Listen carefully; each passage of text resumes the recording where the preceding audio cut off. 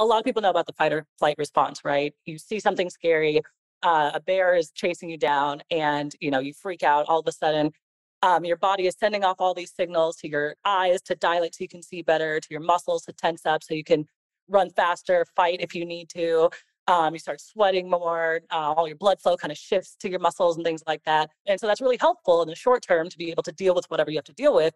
But we have to be able to turn that off because if we leave that system on all the time, it's going to cause damage. And we've seen that the medical research has shown that causing damage like, you know, issues like high blood pressure, chronic headaches, chronic fatigue, um, heart disease, immune related issues. There's all these kinds of negative consequences of prolonged stress responses.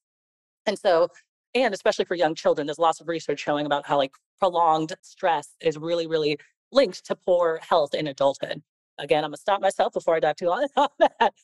But the really, really important part about that is understanding how we can turn the stress response off and recognizing that it is a response to something. And like any response, you have control over it.